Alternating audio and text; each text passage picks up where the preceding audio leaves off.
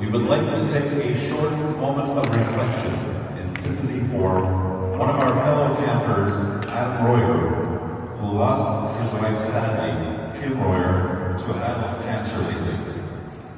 Kim leaves behind Adam and their daughter Ava. So let's join together to observe a moment of silence in her memory. Et joindre dans le moment de silence à la mémoire de Kim Royer.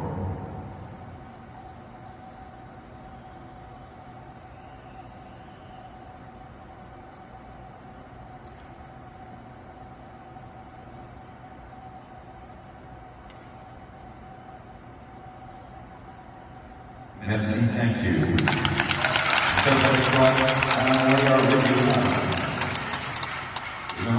maintenant, s'il vous plaît, vous levez pour l'interprétation de l'hymne national. Please rise